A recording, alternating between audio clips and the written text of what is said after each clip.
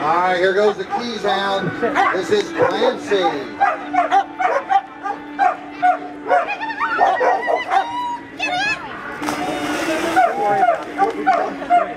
Eleven feet, ten inches.